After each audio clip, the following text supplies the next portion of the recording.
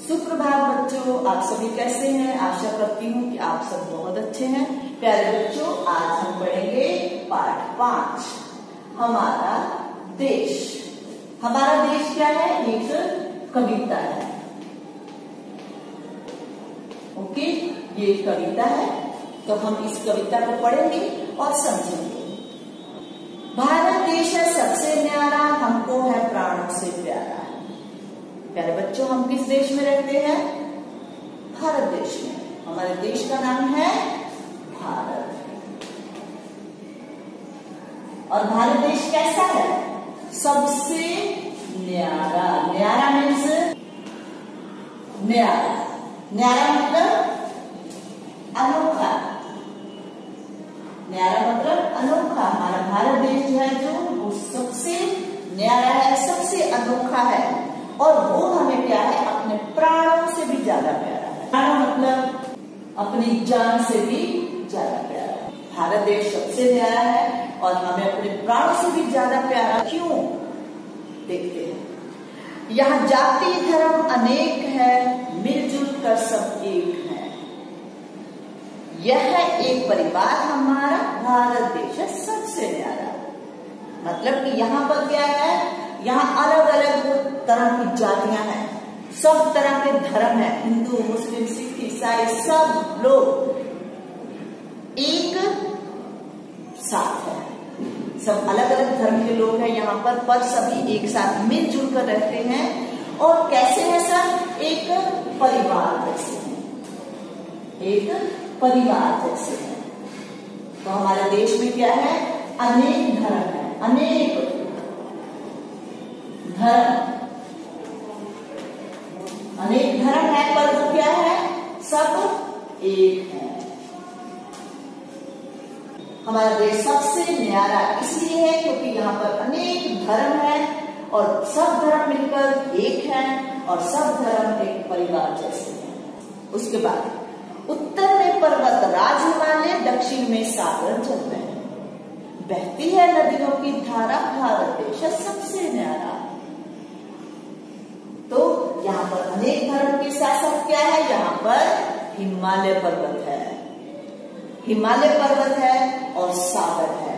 क्या है? हिमालय पर्वत है। कहा पर है ये? उत्तर में।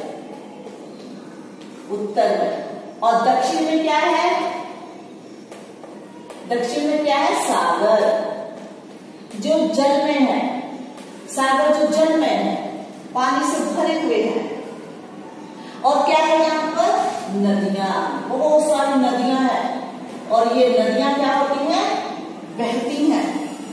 नदियों की धाराएँ बहती हैं। इसलिए देश हमारा सबसे न्यारा इसके आगे, मंदिर, मस्जिद, गिरजाघर, गुरुद्वारे, पूजा घर अपने ही सारे। इसमें एक भगवान हमारा भारत देश है सबसे न्यारा। तो प्यारे बच्चों, क्या है? सबसे पहले अनेक धर्म है। फिर क्या है? हमारे देश में हिमालय है, सागर है, नदियाँ हैं। और इसके बाद क्या है? जैसे सब धर्म के लोग हैं, वैसे ही यहाँ पर मंदिर भी है, मस्जिद भी है, गिरजाघर भी है, गुरुद्वारे भी है। मंदिर में कौन जाते हैं? हिंदू लोग जाते हैं, मस्जिद में कौन जाते हैं? मुसलमान लोग जाते हैं, गिरजाघर में कौन लोग जाते हैं? क्रिश्चियन लोग जाते हैं, ईसाई लोग जाते हैं, गुरुद्वारे में कौन जाता है? सिख लोग जाते हैं। तो प्यारे बच्चों ये सारे पूजा घर है। और ये सारे पूजा घर क्या है? सब अपने हैं। सब अपने हैं। और इनमें क्या है? एक भगवान हमारा सब लोग मानते हैं, हिंदू लोग मानते हैं, हमारा भगवान है, मुसलमान मानते हैं, हमारा क्रिश्चियन लोग अपना है, गुरुद्वारे में अपना मतलब सबके लिए एक भगवान है। और इसीलिए हमारा देश क्या है? सबसे न्यारा है।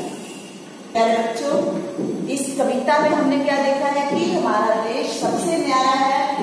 इसमें अनेकों धर्म के लोग हैं, सब मिलजुल कर रहते हैं, सब एक परिवार जैसे हैं। और यहाँ पर उत्तर में हिमालय है, दक्षिण में सागर है, फिर बहुत सारी नदियाँ हैं, जैसे गंगा, यमुना, घाघरा, गोमती, कई तरह की नदियाँ हैं, कई तरह की, कई नामों की नदियाँ हैं जो बहती हैं। और यहाँ पर सभी धर्म के लोगों के लिए मंदिर, मस्जिद, गुरुद्वारा, गिरजाघर सब है। और सब में क्या है? एक भगवान है। तो इसलिए हमारा देश सबसे न्यारा है। आशा करती हूँ ये कविता आपको समझ में आ गई है। आज के लिए इतना ही। धन्यवाद। God bless.